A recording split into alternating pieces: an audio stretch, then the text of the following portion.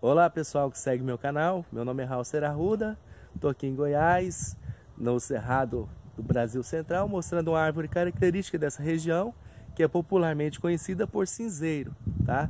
Ele não é um fruto comestível, ele é usado principalmente na questão do artesanato goiano, tá? o artesanato do Brasil Central, e tem como característica esse fruto, essa, essa é, formato característico do fruto tá?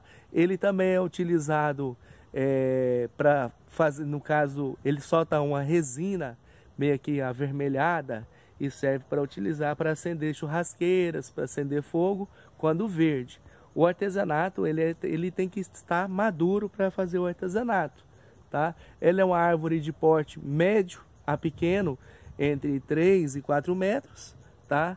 E a característica do fruto principal, o fruto verde, ele é desse formato aqui, tá? O formato aí do cinzeiro, tá? O nome científico eu vou colocar na descrição. Ele é colhido é, de vez e o pessoal verniza ele, ele fica bem bonito, dá para fazer flores lindas. E aqui é o fruto seco, só que esse aqui eu peguei ele no, no chão já, então assim, já está comido por pragas, né? Mas é um, um fruto excelente para o artesanato. Tá aí, pessoal, muito obrigado. Se você gostou, dá um like e compartilha o vídeo. Valeu, obrigado.